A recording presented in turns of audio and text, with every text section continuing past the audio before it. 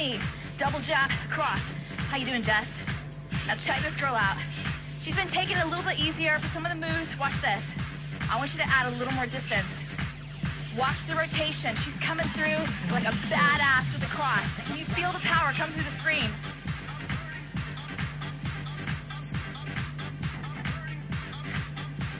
You got this.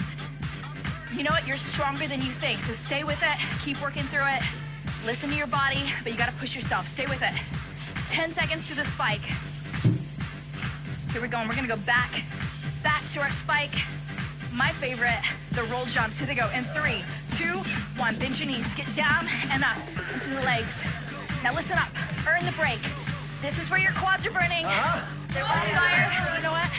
This is where the results happen too.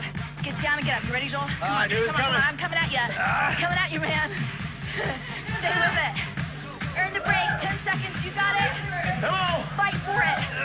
gotta work to the bell. Finish strong. Everything's burning. Here we go. Three, This hurts. two, one. Ah.